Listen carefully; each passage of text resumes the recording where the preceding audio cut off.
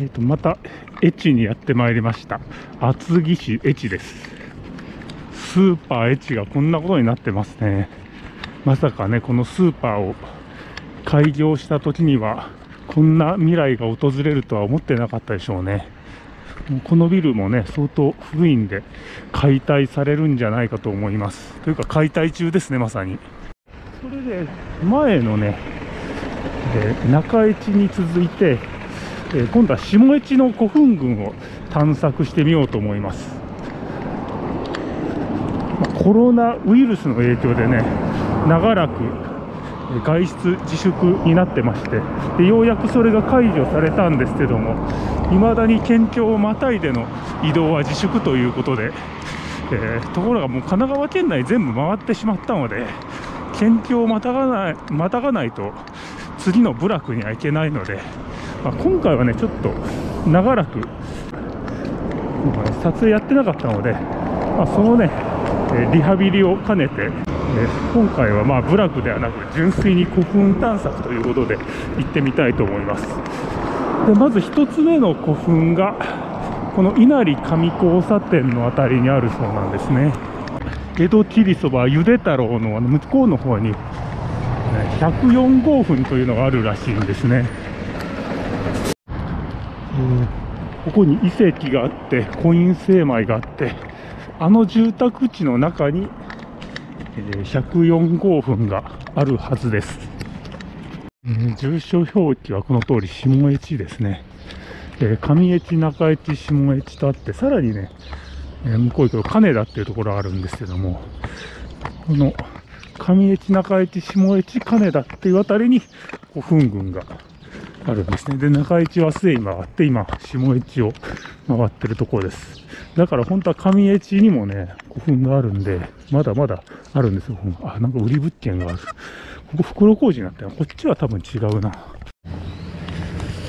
皆さん、多分ね、こっち側ですね。事前にね、ストリートビューなんかで確認してるんですけども、こっちの方に古墳があるはずです。えーこの工場とかね、倉庫に囲まれた、この住宅地の中にあるんですね。えっ、とね、ごめんなさい。なかなか見つけられなかったんですけども、意外と奥まったところにありました。あれですね。あれです。あの倉庫みたいな建物の横にあるあれです。それで、もう完全にね、え人の土地に囲まれてて、ここが一番近づける場所ですね。ここは柵があるし、こっちは、えこの先入あのロープが張ってて入れなくなってたんでここからしか見ることができないですね。これが104号墳です。このように木が生えててね草に覆われてるんですけどもなんとなく古墳かなっていう感じが分かります。こんな風にねもう完全に住宅地に囲まれた場所になるんですね。では次に行きます。次は119号墳ですね。119号墳はずっとこっちより南にあって、ほとんど金田っていうところに近いですね。えー、と次の古墳はこの交差点からずっと南に行って、で、セブンイレブンの向こうの辺りで、右に曲がったところにあるはずです。ここが下越交差点で、さらにこの向こうの角度を右ですね。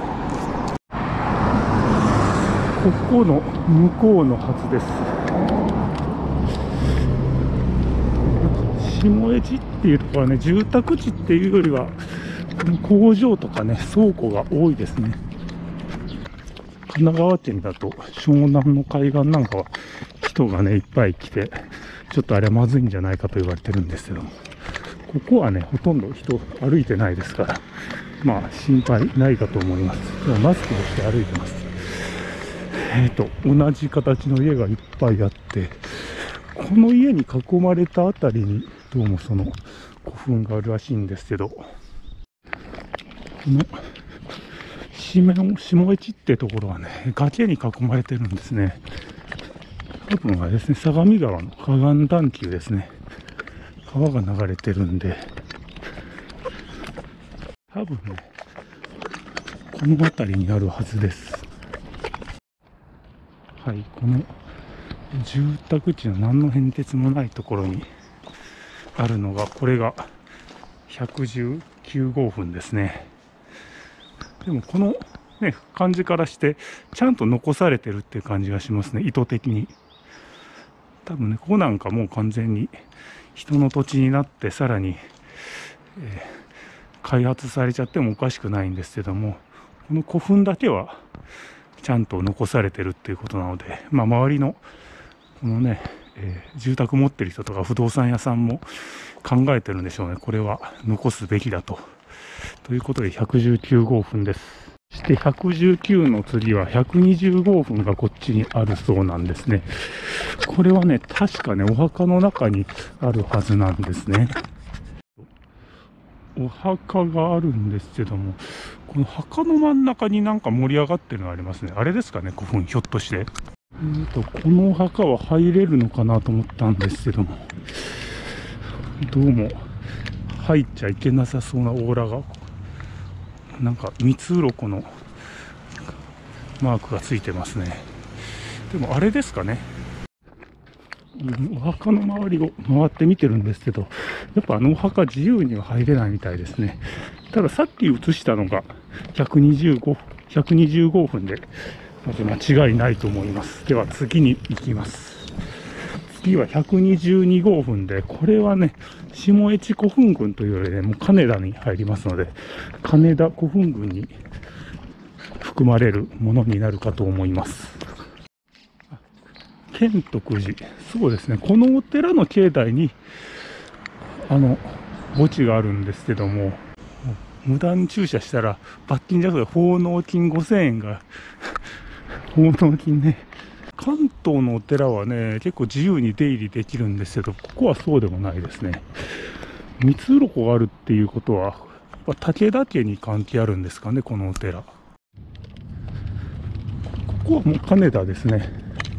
ここで、ちょっと道がね、この先曲がってるところがあって、そこを道なりに進んでいくと次の古墳があるはずです。なるほど。ここは安らぎレーンで多分ね、ここを登っていくと、さっきのあの墓地に行くんですね。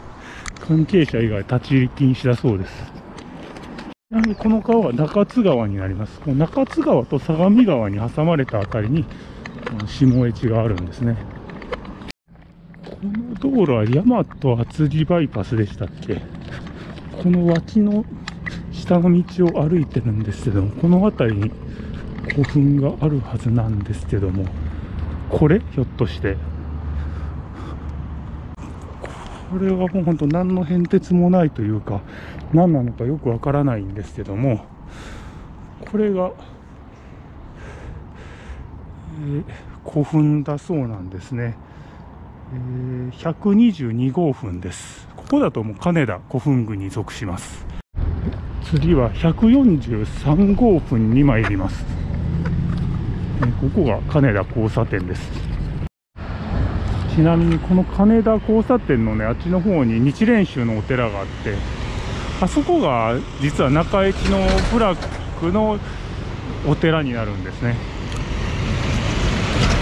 これ信号長いからあそこの歩道橋を渡った方がいいですね。歩道橋を渡ります。金田神社があるんですけどもそこから反対側に入ったこっち側にえー、今度は143号分があるはずです。同じような形の建物がたくさんあります。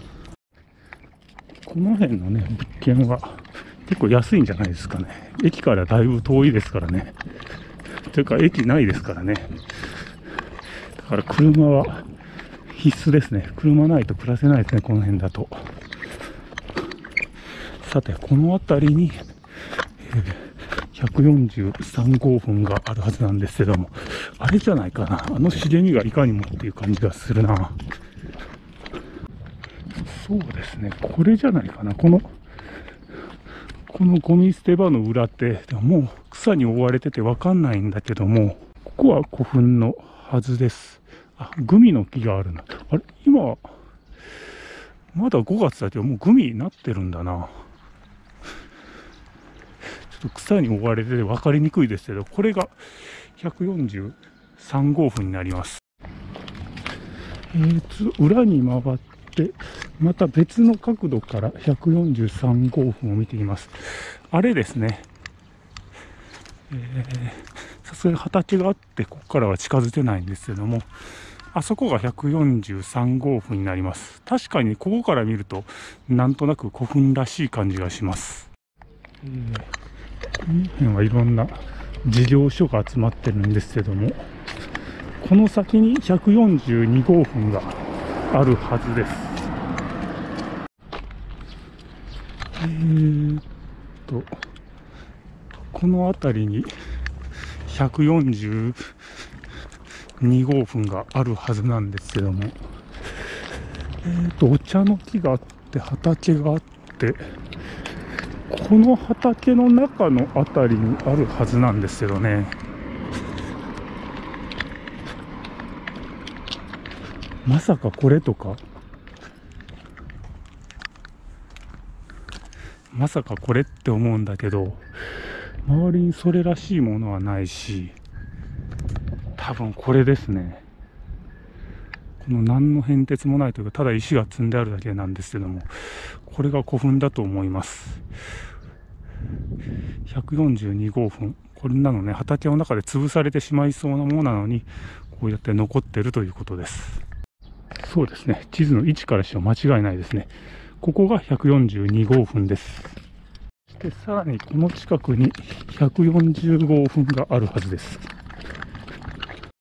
えっ、と、地図だとこっちあたりなんだけども、なんかあれです。ありますね。なんか、あれじゃないですか。畑の中なんだけども、祠みたいなのがあって、あれですね。えー、あれが140号分になりますこれも畑の中にありますで頂上に祠みたいなのがありますね140号分です。これ残すはあと3つ。131号分と130号分。あと128号分が今も現存している古墳です。はい辺りはこんな風に畑があって墓地があってというところなんですけどもこの先に131号分があります。多分あの角かな。あの角から左に左に行くと袋小路があってそこに古墳があるはずなんですね、えー、この角ですね。さてどんな古墳があるかなんですけどもあれわかんないな。どこにあるんだろう。まさかねこの民家のこれが古墳なわけはないですないですね。さすがに突き当たりに来るとそれらしいものがあるのかなここばかりはね、Google ストリートビューで確認できないんで、あれじゃないかと思うんですよ。さすがにこの先になると完全に人んちの中ですね。ここはギリギリ道路だから入っても大丈夫かな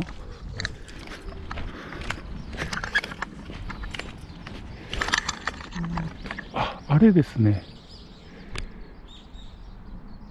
さっきのあれで間違いないですね。向こうになるともうほとんど人の家の近くまで行かないと見れないですね。えー、あそこはね、ストリートビューでも映ってなかったので、えー、実際にここに来てみないと見れない古墳ですね。ホールは2つ。135分がこの先の交差点のあたりにあるそうです。あ、これはとてもわかりやすい。竹があって切ってあるんですけども、これが古墳ですね。これは非常に分かりやすい古墳です。しかもね、草刈りをしたすぐ後みたいなので、余計に分かりやすいですね。綺麗な形の古墳です。えー、これが135分ですね。それでは最後の古墳を見に行きます。えー、こっちをまっすぐ行って、えー、高速道路沿いの道を、高速道路じゃないな。国道100、いや、国道468号線沿いの道を北に向かって進むと、えー、あれですね。次の最後の128号分がありますね。ちゅうかこれ104 168号線っていうか、これ完全に高速道路沿いですね。ということで、あの向こうにある高速道路を目指して歩きます。前に見えるのは県央自動車道です。で、こっちの方ですね。え目指す128号分があるのはこっちの方向です。多分この辺りじゃないですかね。この上に神社らしきものが見れるんだけども、多分その辺りじゃないかなと思うんですね。この住居表示板からしてもこうですね。これ、大久根公園っていう公園らしいんですけども、この中にね、古墳があるはずなので、128号墳ですね。公園の入り口を探してみます。ここですね、公園の入り口。あ、ちゅうかもうこれはもうそのまんまでしょう。わかりやすすぎて、しかも丁寧に説明までついてますね。これはわかりやすいし、しかも上に登れますね、これは。えー、下市土地区画整理事業内遺跡。大久根古墳、これですね。これも見事な古墳ですね。登れます。向こうに展望台というか、憩いの場みたいなところがあるんですけども、閉鎖されてますね。円墳じゃなくて宝墳なんですかね。なんか四角い形してますね、この古墳。まあ、とにかくこれで無事に128号墳見つけました。そうですね、宝墳って書いてありますね。古墳ってね、もう崩れてるのが多くて、豊墳なのか前方後円墳なのかわからないことがよくあるんですよ。これ本当にもう見ただけでこれ豊墳だってわかりますね。でね、武田信玄の戦いの死者を埋葬したっていうわけではなくて、やっぱり時代的には古墳時代だからもっと古い時代ですね。4世紀古墳から5世紀前半頃。だからやっぱこの辺りの古墳っていうのはその時期に大体できたんじゃないかと思います。ということで、これで全部の古墳をコンプリートしました。まあ、現存しているものだけですよね。はい、ということで、えー、戻ってまいりましたね。ね湘南の海に行くのもいいんですけどね、こういう何の変哲ない住宅街を観光するというのも非常に良いと思います。